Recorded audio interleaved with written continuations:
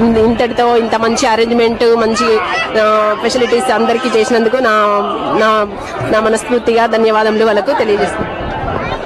ఇదే పరిస్థితి భక్తుల నుంచి వస్తున్న స్పందన చూసాం మనం ఇప్పుడు. చాలా అద్భుతమైన స్పందనను వాళ్ళు చెల్లజేస్తున్నారు ఈరోజు సోమవారం కావడంతో శ్రీశైల బ్రహ్మరాంబ మల్లికార్జున స్వామిని దర్శించుకోవడంతో పాటు అదేవిధంగా తెలుగు రాష్ట్రాలకు అత్యంత ముఖ్యమైనటువంటి శ్రీశైలం ప్రాజెక్టును కూడా ఇక్కడ దర్శించుకునే భాగ్యం ఇక్కడ భక్తులకు లభించింది.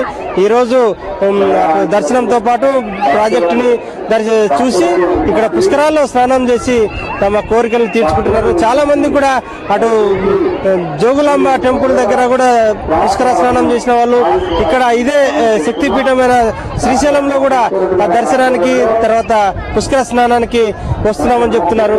ఇది ఇక్కడి పరిస్థితి. కెమెరా పర్సన్ వీరేస్తో నాగిరెడ్డి టీవీ శ్రీశైలం.